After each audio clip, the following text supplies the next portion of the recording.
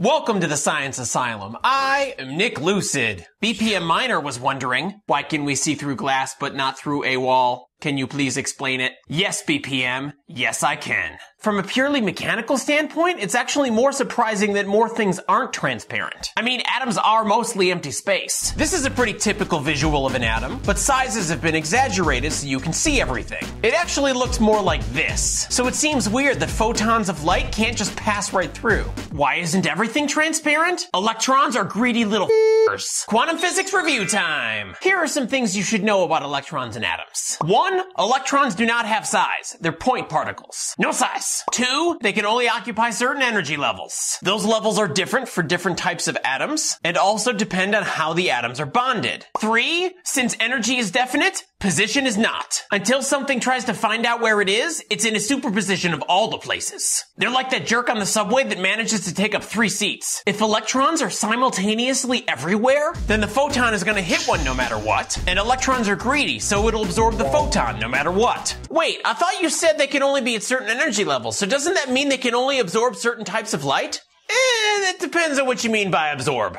You might have seen other YouTube videos explaining glass this way. It is true that electrons can only jump up energy levels when you give them just the right type of light. But let me make something very clear. Jumping up energy levels is not the only way electrons can absorb light. If it were, there would be no such thing as reflection or refraction, which is ridiculous. Clone, get in the particle machine and become a photon. Seriously? That's always so uncomfortable. Yes, Awkward M is already there, take Super Energetic Clone with you. Who?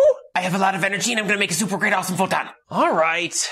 Excellent. Electrons may be greedy, but they're also very picky about how they absorb the light. Take this electron, for example. Hi, crazies. When just the right guy, I mean photon comes along, she gets excited. Hi there, I like you super duper a lot. Oh, hi. I like you too. And she jumps to a higher energy level. If she's an electron in a gas molecule, she'll calm down by releasing a new photon. However, if she's in a typical liquid or solid molecule, then the other molecules are too close. And she's far more likely to calm down by giving up that energy to move the other molecules. That increases the thermal energy instead of releasing a photon. When the wrong guy, I mean photon, comes along, it tries to get her excited but fails miserably. Hey, baby. Get out of here. The photon was still absorbed by the electron, but then immediately rejected. He just doesn't do it for her.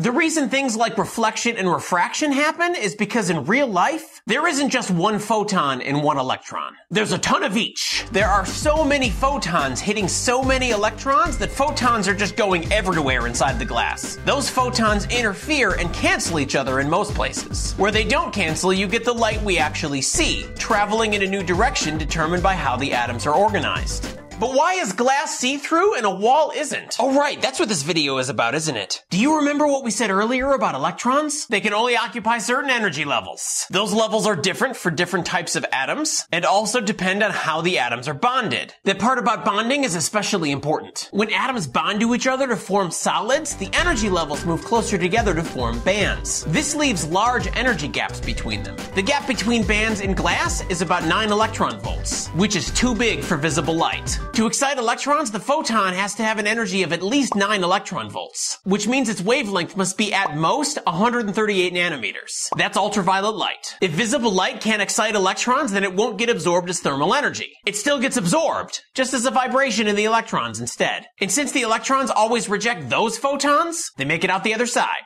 Transparency. So what's the worst glass thing you've ever broken? Be transparent about it in the comments. And until next time, remember, it's okay to be a little crazy.